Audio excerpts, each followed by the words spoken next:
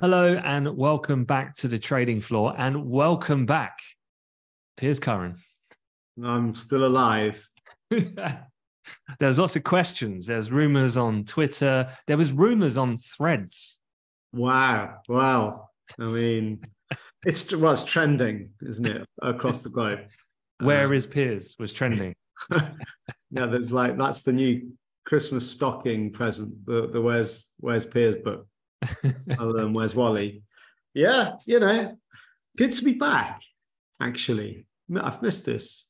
Yeah, yeah, so have I, and so as a few people have messaged me. You know, you're you're you're a semi-popular guy on the pod, so uh, yeah, good to have you back on, and, and good to pick your brains. And we certainly got two, well, I guess three things to talk about uh, in this episode. Mainly, uh, a catch up on the macro environment, uh, and certainly with our now midweek podcast with Stephen, where we can talk a little bit more about kind of company specific news and deals.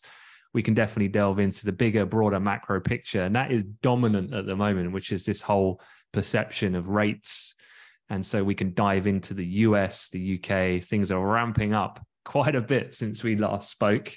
So we'll look to deconstruct uh, that situation. And then we're also going to talk a little bit about OPEC Steve and I touched on it, but you've not been around for a while. So good to get your point of view as well. And that comes on the coattails of Saudi Arabia and Russia taking further preemptive action in order to support prices. And actually, oil sitting back at 72 at the moment, pretty much at the highs of highs of the month. Yeah. Seven days in, I must say.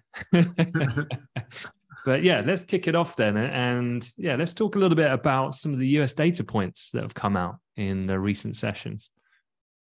Yeah, well, I mean, yesterday's session, so Thursday, 6th of July, um, well, actually, might surprise some of you, is officially the biggest stock market sell off of the whole year. If you're looking specifically at the FTSE All World Index. Um, so I mean, the FTSE All World Index, as the name suggests, is um, uh, it's a it's an index that's made up of stocks from across the planet. So it's trying to give you that sort of bellwether overall gauge of you know sentiment and uh, obviously through the stock market moves from across the world. And actually, that index, yeah, dropped 1.7 percent yesterday, which made it yeah the worst the worst sell off for the whole year. So I thought we'd dive into why I mean, there's two points to really discuss that are definitely connected. Um, so I think, well, first up, Wednesday night, we had the Federal Reserve release their minutes from their previous meeting. You might remember their meeting was three weeks back, and they did something different. They did not raise rates. Um, and then what happens after these meetings is then three weeks later, we get the minutes from the the, the, the kind of closed doors discussion. We get the minutes from those meetings. It just gives us more detail on what was going on behind those closed doors. And so the minutes landed on Wednesday night. And, you know, the I guess the main takeaway from the minutes was that the Federal Reserve um, members um, were signaling that you know they may well look to raise interest rates again at their next meeting which is at the end of july right? And it was like you know obviously all data dependent and you know looks like at, since their last meeting three weeks ago yeah well what has the data shown? And, and the data's continued to show resilience. And when you then combine this so oh, just a reminder wednesday night that the fed will hike if data's strong. Then on thursday well what happened well, the US data got announced and it was not only strong, it was like, wow, this is super strong. And I'm specifically talking about, I, I would say, three data points on Wednesday. Um, one's called the job quits number, one's called the ADP employment report, and then one's called the ISM services data, right? So these are these are just economic measurements um, what's happening out there in the US economy and, and how strong it is. And, and all of these data points, I mean, not only beat expectations, but it was like all of them were like, whoa, that's that's a significant and very surprising beat. Uh, I don't know if we want to delve into these, but like the jobs quit job quits rate you know, this is a, a great measure that people don't often kind of talk about. It's a great measure of the strength of the labor market. And it sounds a bit weird. You're, you're saying, well, hang on, how, how many people are quitting their job? And actually, the more quits there are, the stronger that indicates the labor market is. Yeah, take a you chance. Might, yeah, well, this is it. You might think initially that sounds a bit kind, counterintuitive, but the point is that you're only going to quit your job if A, you've got another one to go to, which is most likely. And here, normally, when people are changing jobs, they're kind of getting a salary hike, or maybe they're getting, uh, I don't know, uh, a tight promotion, you know, in terms of title or whatever it might be. So people tend to only quit when they're confident they already got a job locked in or they, they they're confident they can get one. So that jobs rate jumped actually to the highest reading of the whole year. Um, this is for for um, the month of May. So this jobs quit the job quit rate data is kind of it gets announced quite late on in the cycle, but none, none, nonetheless, it was the highest reading since since December of last year. So it's like, wow, okay, this labor market not only is it staying resilient, it's actually strengthening now. Um, and this was kind of backed up very powerfully by the ADP employment reading. Now, this is for the month of June, and this is looking at the job creation rate um, in the private sector. And it came in at a quite sensational uh, 497,000 jobs created. Uh, we were only expecting 228. So it's more than double what was expected and highest reading for 18 months. So again, evidence that not only we thought the labor market was staying resilient, this data suggests it's actually now starting to strengthen again. Um, yeah, and then looking at the the sector standpoint, right, leisure and hospitality yeah. is by far and away the largest contributing factor to new hires. So pretty pretty healthy consumer, it would seem. And and that and, and you can kind of temper this a little bit by saying that actually in the summer months there is some mm. seasonal factors here. So I think it was Goldman's that were pointing this out on the Thursday after the release and saying, look, just yeah, this is super strong, but you know, you normally get a bump up in the summer months, right? So there's seasonal factors here. Yeah, and I've got the stat that Goldman's was spinning. Uh, they were talking about this distortion in seasonal factors contributing to the June strength. Uh, they said ADP employment growth had picked up in June in six of the last seven years, and by uh, 193,000 on average. Okay. Well, just in that one sector, 193,000. Yeah, I think they're talking about the sector. Yeah. So this sector was 232,000. Okay. So, so, it's on average. It's just a, it is above average, but yeah, it's not that so, far away. Yeah. Okay. Um, so that that kind of headline figure of 497,000 is perhaps yeah we we should discount that a little bit because of that seasonal factor. But I mean, it's so massive a reading, even if you discount it, mm. it's still huge. Um, so very much still feeds into that narrative of actually maybe the labor market's weirdly kind of just re-strengthening here. Then the final piece of the jigsaw was this thing called the ISM uh, services uh, data, which is actually this and the one key thing about this data it's what often considered a lead indicator. Those two points I've just mentioned, the, the jobs um, so the quit rate, well, that's that's May, so that's quite a long time ago now. The ADP employment, well, that's June. Obviously, that's in the rearview mirror as well. But the ISM reading is actually a forward-looking indicator, um, and this is based on yeah. Just I won't go into the details now, but it's just kind of measuring the strength of the services sectors which make up the vast majority of the U.S. economy, and that kind of jumped back to almost 54. So that was the highest reading since February. Okay, so yeah, I guess so. Hang on, let's step back. Remember that stock markets had their worst sell off for the whole year, despite this super strong data. And so, just to kind of remind listeners, we're in this counterintuitive moment in the cycle where the biggest concern for investors is interest rates and, and how high will interest rates go? Are the Fed going to hike more? If so, when and by how much? And so, any any data that gives us um, a better read on that future trajectory for rates this data is super important and markets are really sensitive to it. And the irony is, of course, that the stronger the US economy appears from this data, then that actually feeds into the negative driver for stocks because the stronger the economy is, well, the more the Fed are going to have to hike.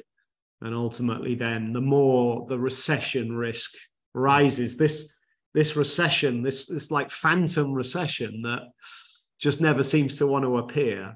Um, but the idea is eventually, if if rates go even higher, then maybe that recession will be deeper, and so that's why kind of stocks freaked out a little bit on Thursday in in the face of this super strong US data.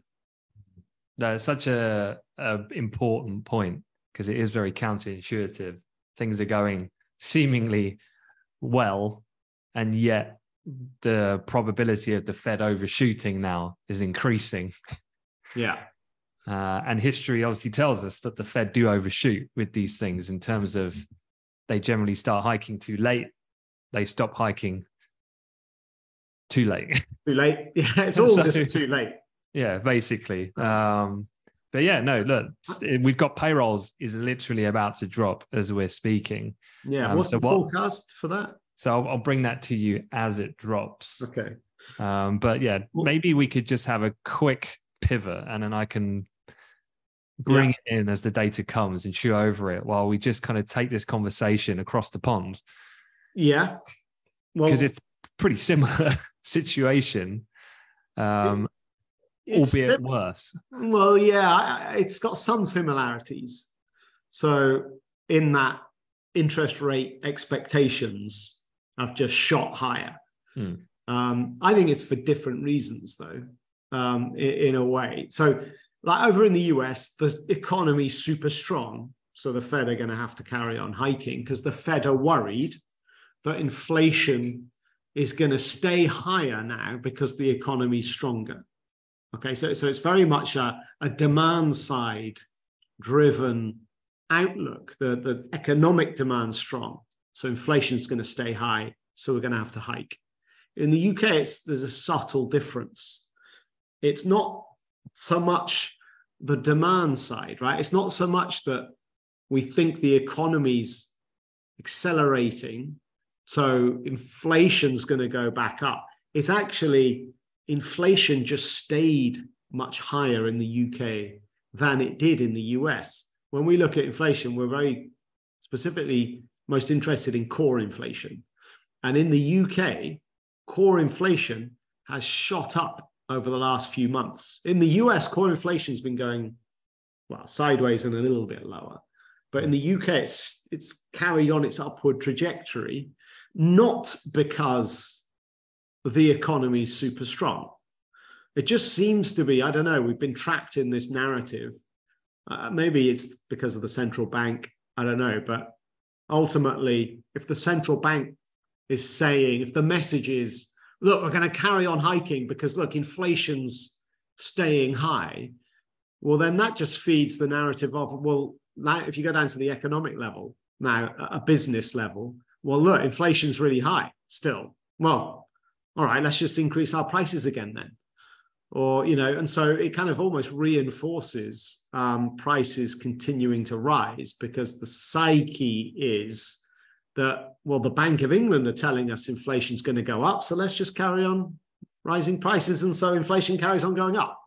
Um, so the Bank of England have got super hawkish. Um, yeah, there was, I, I guess, the headline grabbing moment of the week was when the uh, what markets are pricing now for the peak of UK interest rates is now six and a half percent.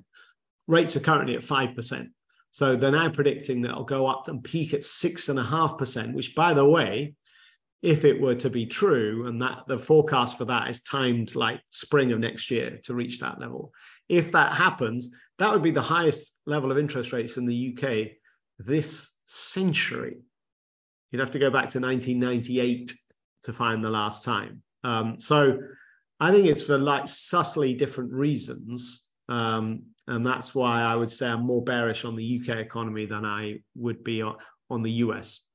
check, check you out being Mr. Sensationalist this century. You do realize it's 2023, right? Yeah, we're a quarter of the way through the century. You know? it's fact. Look at you pumping your view.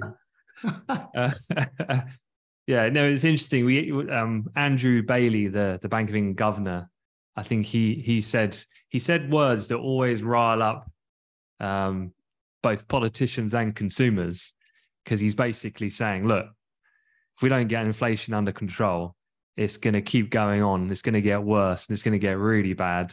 And we're going to have to put up interest rates even more. Yeah. So suck it up. But I know you're not the biggest fan of Bailey. Well, what do you think? Because look, this is what he said this week. I'm quoting here. Um, he, he said that we need to get inflation back to where it needs to be, and then we can assess what level interest rates should be going forwards. Um, I.e., I don't know what I'm doing. and then he said, I understand very much the difficulties that people face, because obviously hmm. raising rates means more pain for those for borrowers. And so that's anyone with a mortgage mostly, right? Um, and he said, Look, I understand the difficulties for people, but unfortunately, this is how we have to get inflation down. If we don't get inflation down, it gets worse. I actually think, I well, it's, it's impossible to measure, but that type of rhetoric, how much is that contributing to inflation going up? You know, when the Bank of England says we've got a big inflation problem, as I've already said, well, people just, well, let's just try and sneak in a price rise then you know? And i think it just feeds into then this mm. inflationary narrative but it's it's obviously impossible to measure how much that's a contributor or not. But basically what he's saying is more pain. There's more pain coming because no pain no gain basically right? And we we need pain to get inflation down and then fine that's the more sustainable path for the economy in the long term what what is it? Just remind me. What is the the salary with all the trimmings that he's he's pulling every year? Half a mil was it? Yeah. Well, I remember Carney, his predecessor, was on six hundred thousand a mm. year. Uh, he's he was probably they probably got him a bit cheaper, but I would say I'd like to think they got him cheaper. But I yeah, I'd probably say it's got to be half a mil, isn't it? Okay. Yeah. So so yeah, he's fine. He, he can, paid off his mortgage last year. and on that point of mortgages, uh, British house prices, according to Halifax this morning, fell last month in annual terms, the fastest rate in 12 years. Also saw HSBC, one of Britain's biggest mortgage lenders, yesterday announcing that they're pulling all deals offered to new customers through brokers for the third time uh, in a month. There's been a, quite a few, I've seen LinkedIn posts from chief economists and banks saying stuff. What do you think about though the mortgage market and the threat that that carries? Well, I think well, it's the big threat to the economy, and I mean mortgages have already mortgage rates have already gone up very sharply.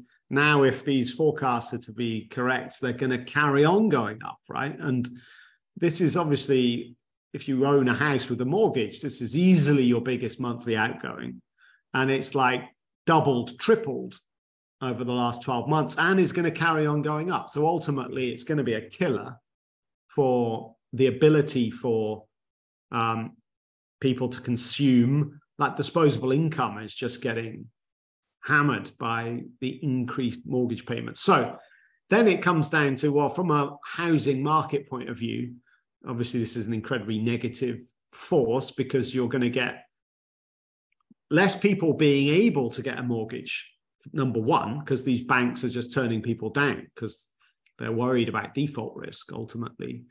Um, and that obviously then dampens demand. Um, and so and then and then you're going to get people holding off on buying not because they're getting turned down for a mortgage, but actually it's just too expensive and they just want to play it cool. I'll just rent for a couple of years. Hopefully rates come back down, then I'll buy. So yeah, from a demand point of view, it's a killer. So you know you'd certainly expect that that downturn in the housing price index to to con, you, I mean you've got to it's got to be one of the most easiest things to predict. Surely mm. house prices stay soft and keep coming down as long as interest rates keep going up. Yeah, I mean, I had a look at the Halifax report this morning, uh, and yeah, we're down, we dropped 2.6% year on year in June. I was looking at what house price change was in June 2022 Right. annually. What do you think? Oh. Well, annualized, uh, they were probably up up ten percent. Yeah, 13. Right. yeah. So we look like this down this decline in house prices we've seen. It's it's like we've just started to come off the top. Hmm. You know, so there's you know house prices haven't collapsed here, but I guess the risk of them collapsing at some point in the future has gone up Hmm. because of this rate expectation climbing.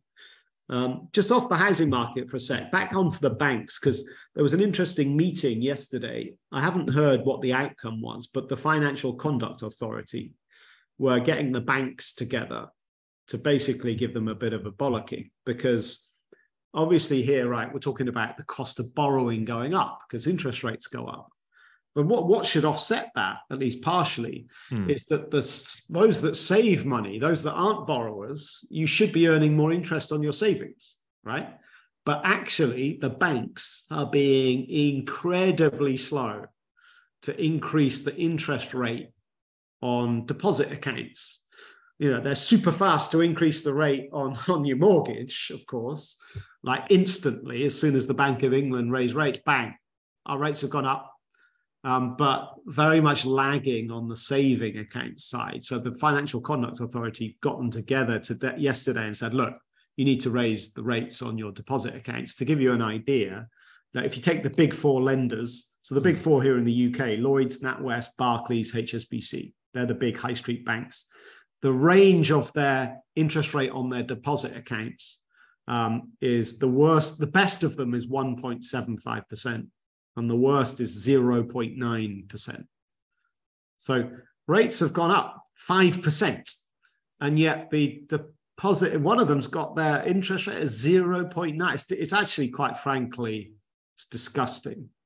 And these banks, I mean, no, no wonder the Financial Conduct Authority is pulling them in and going, oi, you know, you need to do something about this. So, so that can that can offset the damage that high rates does to borrowers, but only partially because we're more in debt. You know, there's more people in debt than there are, like from a mortgage point of view, than than those that are savers. Um, so that's Mm. one one I, thing. I, I'd- I'd say I'm more critical of the Financial Conduct Authority. Like, why aren't they acting faster? The Yeah. banks are only ever going to do what they've done, and particularly if all the peer group within that sector are doing the same, you're not going to be this force for good and like put it up to whatever three, four percent. Like that's just not going to happen unless you get pushed. Like, why aren't they on that? Well, the issue is, of course, that well, these are publicly owned companies, right? I mean, ultimately, the government can't force Lloyd's to do anything. Um, you know, it's only market forces that Hmm. drive change. And if all the big four are going, well, let's not change uh, the, the interest rates on our deposit accounts, well, then what's the incentive? You know, that then, I, I mean, not for a second am I suggesting they're colluding. Oh, let's keep rates down on our savings account. I mean, I'm not necessarily saying that, but what, what, what's that wine bar they all go to? um, but I, yeah, I do think it should be getting more coverage in the press. These banks should be getting called out more in the Mm. press. But the problem is, it's hard to get open a bank account anywhere these days. Um, so because banks are reluctant to take on more deposits. you know, we had the SVB saga, so it's a really difficult moment. But yeah, it's right that they should be putting pressure on them. But ultimately, these banks, well, they're publicly owned; they can do what they want or they can do what they should be doing what the shareholders say what's in the best interest for the shareholders and that's profit margin so let's keep those savings account interest rates down you know what a wonderful world we live in. Yeah. And with that point, non-farm payrolls has just Yeah. dropped. And I was talking to our summer interns about this this morning. Everything that you said about the Mm. data, I was saying to them, forget your consensus estimate today for payrolls, which was 225. The Yeah. market's going to be leaning, as in the bar is so high now for this payroll number to deliver. It's almost like a given that you're going to see a price reversal because the bar's so disproportionately high. Yeah. And this number's come out, and actually, it only missed estimates by about 16K, which isn't a lot as far as payroll goes, but it came in at 209,000. And yields have dumped, dollars dumped, and equities have rallied momentarily, at least on the back of it. So, the initial knee jerk reaction is that price mechanism of how markets are discounted almost like what's expected is now really rock solid high jobs numbers and a pretty average report has come out. Now, the important thing, and as I was expressing to the interns this morning, there's a difference between knee jerk intraday reaction and then the subsequent moves that happen in the days, period thereafter. Because in the end, market pricing probably isn't going to change as far as the, the Fed is still going to hike. The, the, the interest rates expectation we talked about still will remain. It's just in the short term pricing, then the market's just got a little bit overextended and was susceptible to a little price pop uh, Well, on what- anything less than spectacular. Well, we had a price pop, but look what's happened. Yeah, it's reversing. It's now like new lows for the session, basically. Um, Yeah, the other the other headlines thi- here. right. Um, go on. u- unemployment rate 3.6%. That was in line. The average hourly earnings uh, That's 0.4%, which Yeah. was 0.1 higher yeah. than expected. So that's an important element, of course. The actual year on year figure was 4.4 Yeah. above the expected 4.2. So there's Uh, your problem. And then the other final figure of note was the two month net revision was negative. So basically, you've had a weak headline, the net revisions were weak, but your average hourly earnings are up. Yeah. Which is, I guess, the sort of inflationary side of the report. So yeah, quite quite mixed data there. So you saw the S&P pop about 10 points because the headline figure contradicted what I was saying about yesterday's data. Yesterday's data super strong and that headline figure was up. Okay. It's slightly weaker than expected. So stocks jumped, but then of course that wage growth those wage growth figures are strong, so that's why you've now seen a reversal. You'll probably see the S and P.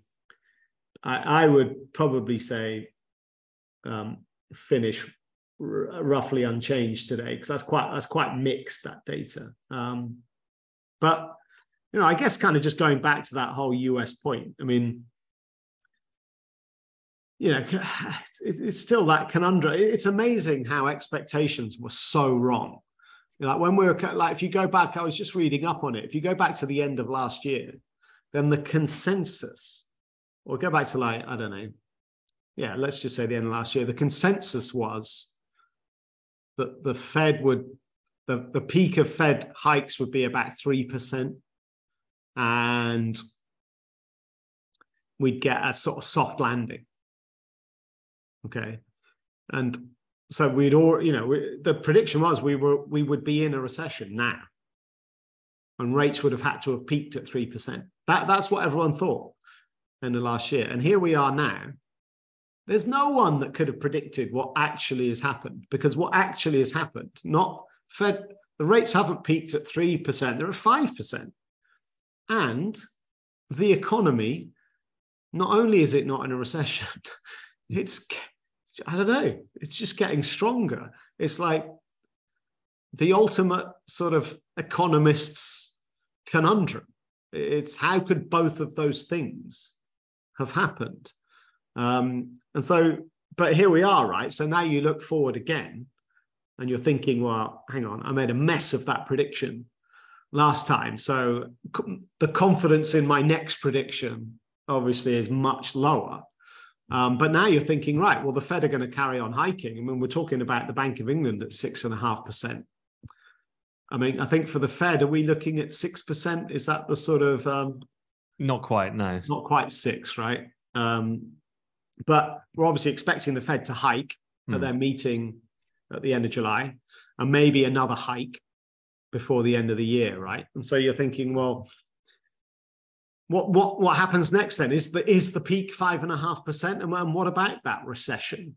And is it going to come, or just magically is it going to disappear? I, I'll I'll just come back to one thing, which is the yield curve.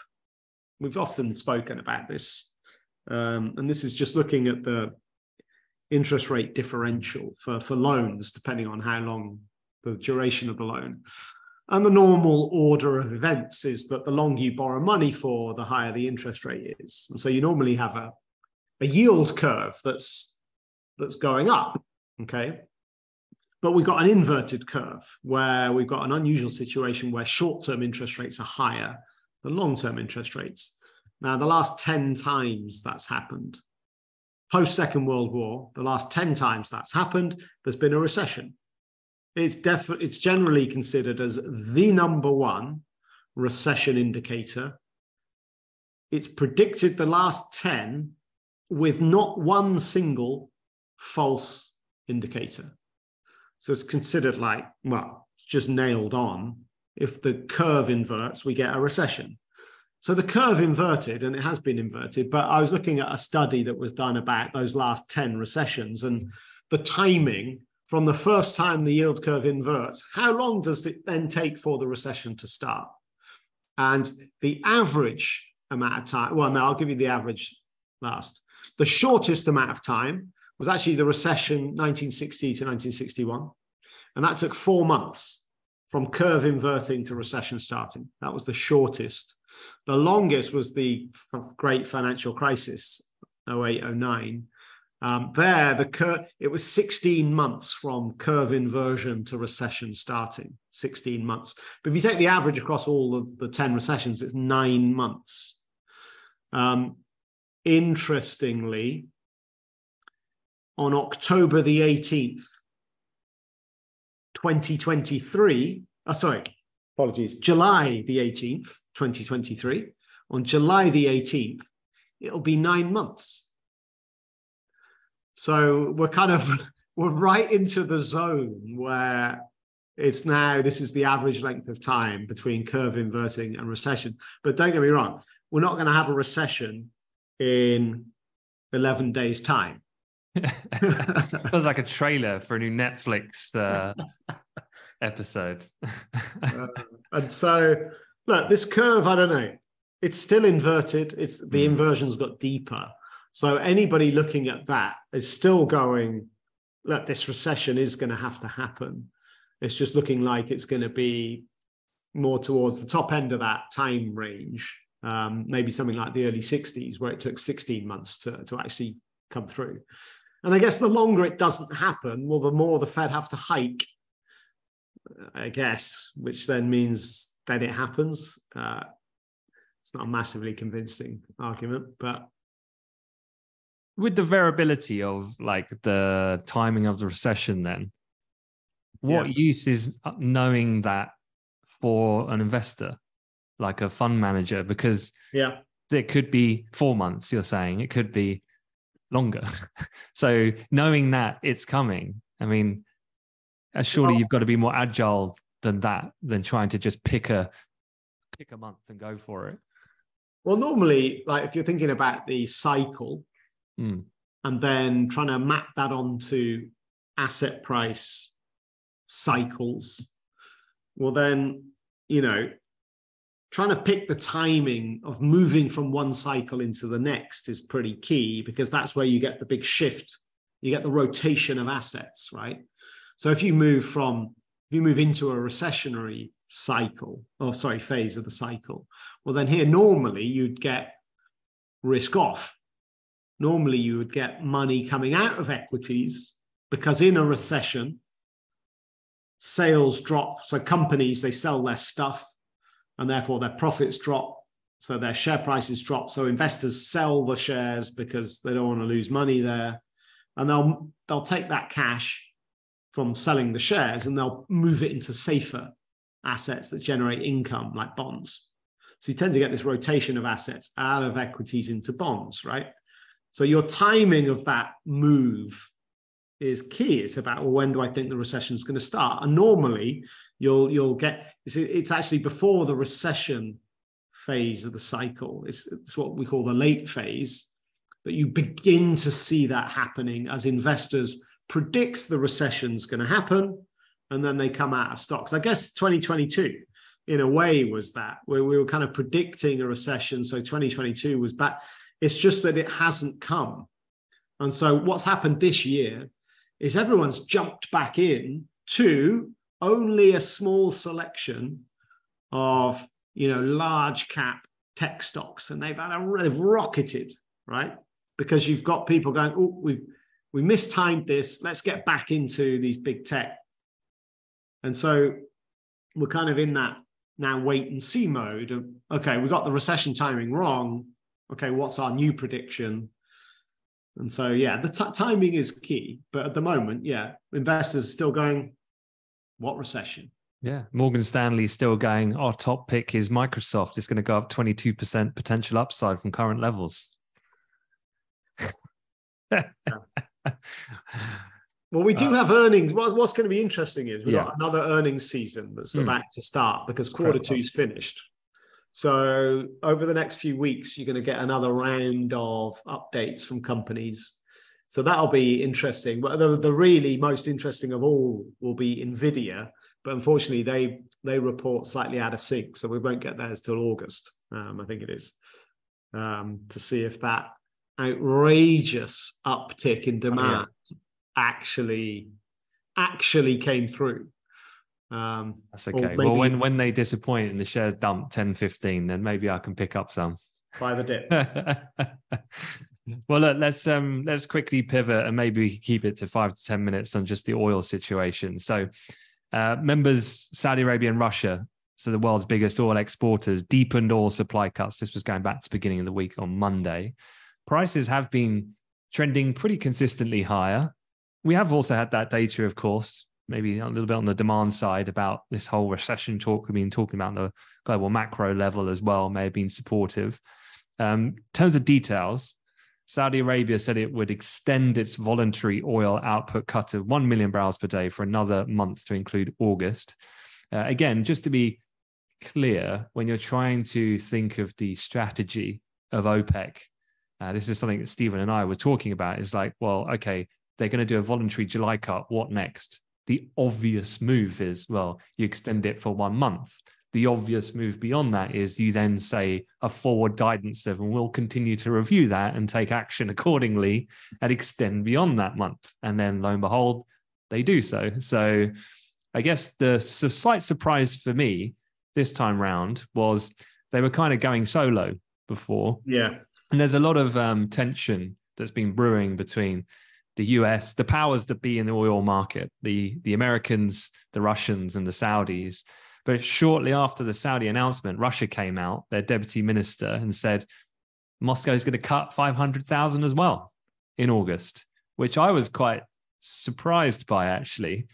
Um, so they've obviously cut some kind of an agreement here because I think that sends an entirely different sounding shot to the market because if the Russians are in with the Saudis, now you've got some serious ability to influence supply.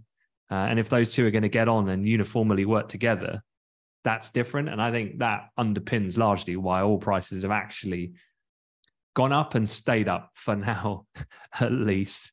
Yeah. Um, the cuts, to give some context, because I think it's always important. I think it's a bit abstract when I say a million or 500,000. It's kind of like, well, what is that? Right. Um, so the cuts amount to one and a half percent of global supply and bring the total pledged by OPEC Plus to 5.16 million barrels per day. And to give you a bit more color on a on a top level perspective, OPEC Plus accounts for about 40% of all of the world's crude oil.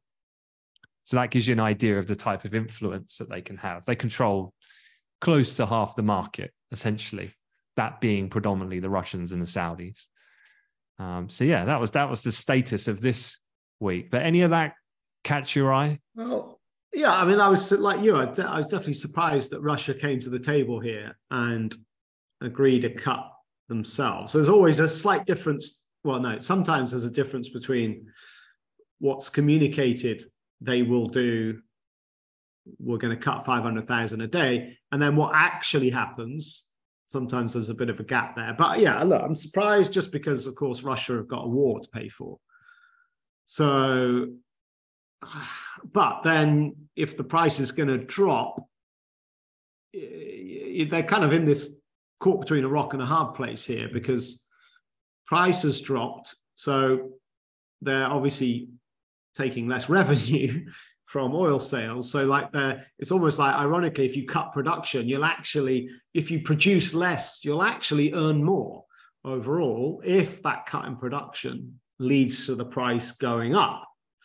Um, so that's the big change. So I think the Russia joining the Saudis here is definitely an important thing.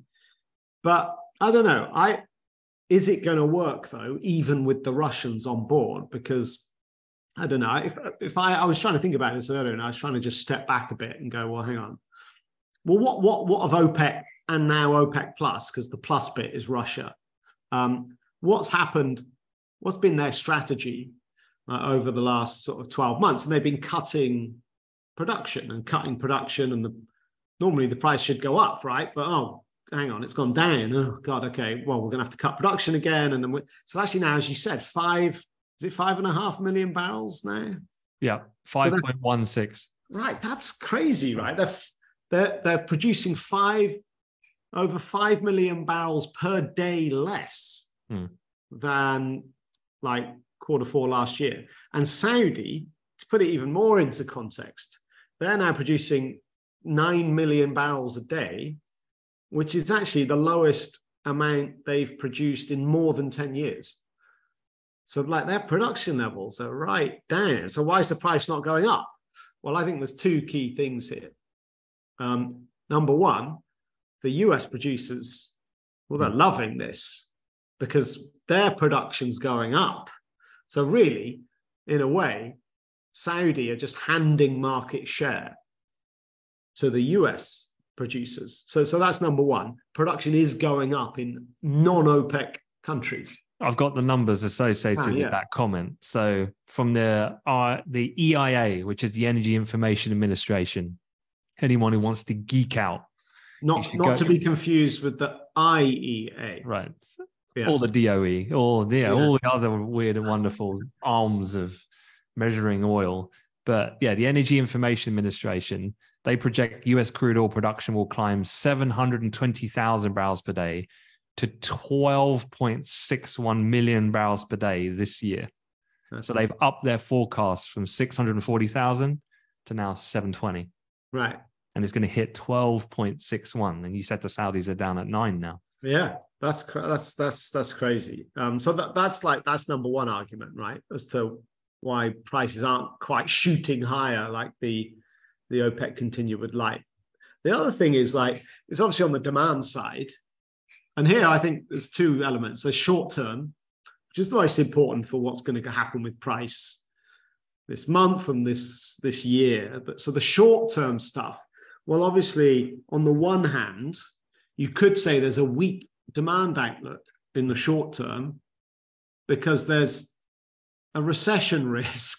But this goes back to our previous conversation. Where's the recession? Hmm. Just hasn't happened. But I guess we have seen China's economy underperform compared to expectations. We were expecting that reopening after their zero tolerance on COVID, that reopening to be a much more powerful um, jump in, in GDP, and it hasn't happened. So that's been a, so demand's been weak. So you can you can drop supply, but if demand's going down as well, it's kind of net net nothing happens, right? But then there, I think the bigger arguments about long term demand because what OPEC are trying to do is say, well, look, there has been a chronic lack of investment into long term oil production. And what's going to happen is that, fine, we've had COVID that's really disrupted the, the, the kind of normal scenario with demand. And what's going to happen when post COVID demand really does return, there is not going to be the supply there to meet it. And so long term, the price is going to go well north. Okay. That's what OPEC say. Now, the, your, your friends over at the IEA, they've actually got a little bit of a different spin on it now. They're actually saying that long term demand, they think so between the years 2022 to 2028, that forecast period, they're actually now forecasting demand to, to be lower than they previously thought because of energy transition and how that's happening faster than people thought. So you kind of got the, these two counter arguments here. You've obviously got OPEC talking their own book, and then you got the IEA saying, you know what, that that energy transfer is happening faster, so it's fine that there's going to be less supply because there's going to be less demand. Um, who's right, of course. I mean, obviously, yeah, it's so interesting. Like, because uh, there's two things that I heard that weren't from the US or anything to do with the US government. Yeah. One is sources close to OPEC, and the other is the CEO of Saudi Aramco. So you can tell where I'm going with this. Yep. So basically, the sources close to OPEC said OPEC will likely maintain an upbeat view of their oil demand growth for next year. They're Yeah. going to publish their first outlook uh, later this month, predicting the slowdown from this year, but still an above average increase in terms of demand. So another little tactical kind of bow to put into the to the arsenal of attempts to to ga- galvanize price. But then the mm. CEO of state-owned oil producer Saudi Aramco said he was talking about Asia. And although we've just said and we have seen that the likes of China are slowing, he was putting out the numbers saying that between 2019 and 2023, 3 million barrels per day of growth have been seen. Um, India, 1 million, um, 1 million barrels per day of growth. So Yeah. China, three, India, one Hmm. additional million. So there's been a pickup in demand through just the general uptick in those economies. Yeah. Uh, and again, for context, I, I was thinking, okay, so what is 3 million uptick in China in tho- that four year period? Is that a little or a lot? It's hard to know, actually. I Mm. don't know these numbers by heart. And I had a look 16 million barrels per day is the consumption. So In- they've in gone China. up. Yeah. Yeah. And it's gone up by 3 million in Right. three years or four years. And then India's the one. I was just reading a Goldman's piece actually um, this morning talking about India forecast to be the world's second largest economy. They're talking long term, Yeah. 2075. Uh, but they're talking now because of the, the population size, 1.4 billion. And they were putting that the key to realizing that potential for India is growing population, is boosting participation within its labor force Mhm. as well as providing training for skills for its uh, immense pool of talent potentially. So yeah, they're talking up these these kind of mega future economies and the demand that they're going to to fill that gap, I guess, that we're seeing in the demise of the Western world. Yeah, it's it's it's so hard to. Well, of course, who knows what's going to happen? I mean, they're, they're spinning different arguments to suit their own sort of Yeah. um, their own book. All all I can say for sure is that if you look at the NYMEX exchange, so this is in New York. This is a commodities um, exchange. So on NYMEX, um, WTI crude oil futures trade. Okay, so WTI crude, that's the West Tex- Texas instrument. That's the stuff they pull out of the Gulf of Mexico. Um, what I can tell you is the number of hedge fund contracts that are net long. Hmm. So we often, when we think about pure, this is purely from a trader's point of view, right? So it's like, is is the market bullish? Is it bearish? And one thing you could look at is the net long or net short positioning in the futures market, which kind of gives you a sense for what are people thinking about where price is going to go in the future. And if there's a net long position overall, more people are long than short, or more there's more, yeah, more people are long than short, then that's bullish. And on average, people think the market's going to rise. Well, the net long positioning on NYMEX is actually it's dropped, and it's actually um, it's the lowest it's been in more than 10 years. It is still slightly marginally long, but the net long positioning is the lowest it's been for 10 years, despite Russia joining Saudi with these produ- production cuts. Basically, what I'm saying is hedge funds aren't, they're not buying it. They don't believe in that strategy working in terms of trying to push the price up in the near term. They, they don't believe that. Hmm. Now, they might be wrong, of course, but it's just another interesting insight into what people are thinking out there. Hmm. Yeah, I wonder. We like with Saudi still like sitting a good eight dollars offside. I guess their fiscal break even. I'd Yeah. like to know the timeline of their kind of reserves and how long they can keep this going. I mean, obviously they had a little bumpy year in not too long ago.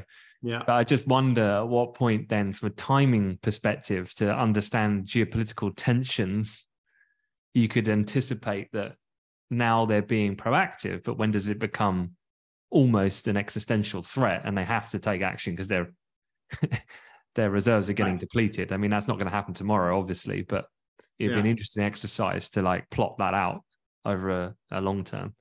Absolutely. And just super short term, oil's just made a new low for the session.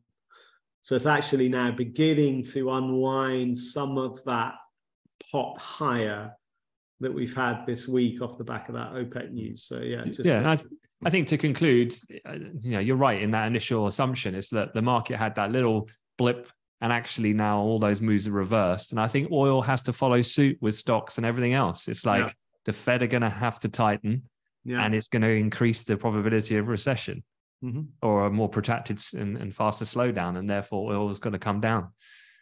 Not what Saudi want to see, not what stock investors want to see, No, but it's the way a cookie crumbles. So with that, let's wrap it up. Good to have you back, Piers. And uh, yeah, we'll catch you next week. Yep. Have a good weekend. Thanks, everyone.